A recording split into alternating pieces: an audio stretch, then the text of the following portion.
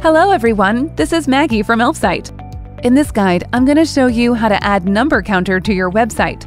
It's only going to take two minutes and you don't need any specific skills to do it. First of all, let's go to elfsight.com and choose the number counter widget in the menu list. Click Create Widget. You can find the direct link in the video description. So let's create your widget. Begin by choosing a template that suits your case best.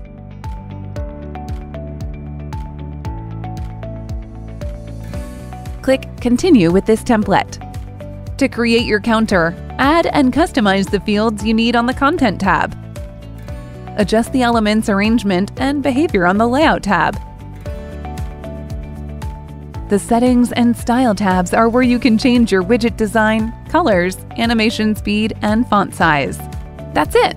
Your widget is ready! Also, you can check other settings to adjust layout, size, colors, and fonts. Click Join to install to add the widget to your website.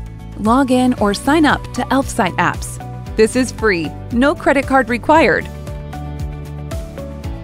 After you sign up, you'll see the widget that you have just created. Click Save. The next step is to choose your subscription plan. You're very welcome to start with Lite, but keep in mind that your 20% discount is valid only for 24 hours. Click the code to copy it and go to your website's admin panel. After you've logged into your Wix admin panel, choose a website for the widget and click Edit Site.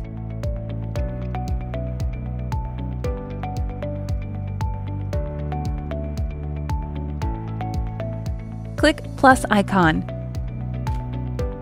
Embed section and select HTML iframe.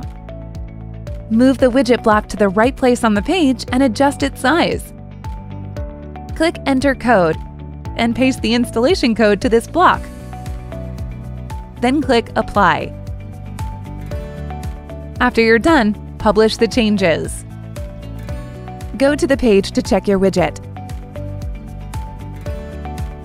This is how easy it is.